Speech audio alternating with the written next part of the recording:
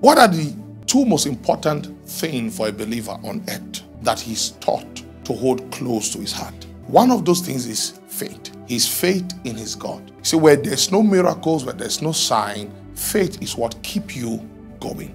The second thing that's close to the heart of any believer is his hope of what? Salvation. Because although we are now part of God's family by adoption, guess what? We are not yet saved because we are still part of the human race. And when I say saved, I'm talking about the perpetual eternal salvation that will come when the day of the Lord comes. That's when man will truly be saved through Christ. But we are being saved by the Spirit of life within us. We are part of his family, but we are still in this world. We are part of the, his family, but we are still subject to the tribulations of this world. We are part of his family, but we are still subject to the plagues of this world. So, guess what? We hope for his coming. We hope for our redemption. We hope for the kingdom that is to come because when the kingdom comes, we would become perfect. When our kingdom fully comes upon the earth and rules the earth, everyone who is a part of that kingdom would become kings and princes, would live as royalty.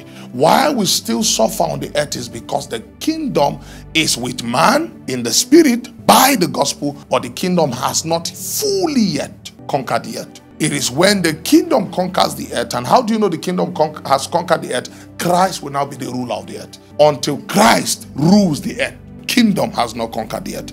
Until Christ rules the earth, the kingdoms of this world has not yet fully been put under his government. Until Christ rules the earth, demons will still have free flow to possess people and to cause chaos upon the earth. But when the kingdom fully comes, then the sons of God will be glorified. So our glorifying is in his is in his coming. So we hope for our glorifying. We hope for our reward. We hope for the life that will be given to us when the kingdom comes. But there's one very crucial thing that a lot of people miss as part of our utensils and as part of our important pillars that we must hold close to our heart. So, first is our faith, second is our hope, thirdly is our connection. Now, this part of our walk with the Lord is one that is scarcely emphasized. Meanwhile, it is very important because you can never be a son of God and claim to lack connection with God. It's impossible.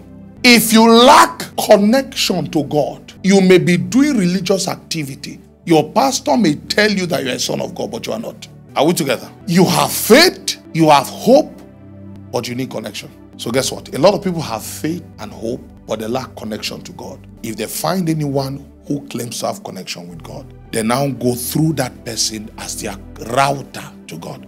So they have faith and hope, but their connection to God is a pastor. And God forbid the day the pastor falls, they end up in despair. Because faith and hope without connection will lead you to despair. So the day the pastor is no longer available, they have faith, they have hope, but they end up in despair. Why? There's no connection to keep faith and hope alive. If you study scriptures carefully, you discover that faith is not blind. We are blind to this world, but we we have sight in faith. Because if faith doesn't have sight, then in faith we too will be blind.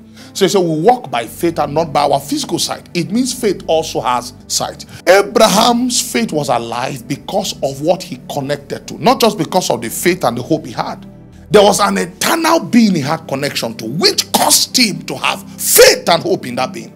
The majority of what we call faith and hope is blind illusion in our generation. You have faith in God. Have you touched Him tangibly? I have hope in God. Do you have active connection with God? Now that's where sons rule. Uh, that's where sons saw. That's what separates sons from every other person. We can all be religious here, but the one who has active connection with God is the one that's the Son of God. Because as one who is a son of God, you can actually pray the Father here. And whether I say will is not his will, no, because you are his son, you can ask the Father and he will send. So we just get stuck on faith and hope without any connection. So guess who our connections with God becomes? Man. Man becomes our connection to God. And here this person, I'm a Benin Elohim. I'm a son of God. But his connection to God is man. What is the connection a man who is born of God sustains with God that shows to him that he's a son of God. So, guess what? Faith is important, hope is important, but connection to God is most important. Because Faith and hope will lead to despair without connection. Abraham did not believe fables. There was a deity that appeared to him. So, on that which appeared to him, he hoped. On that which appeared to him, he showed faith.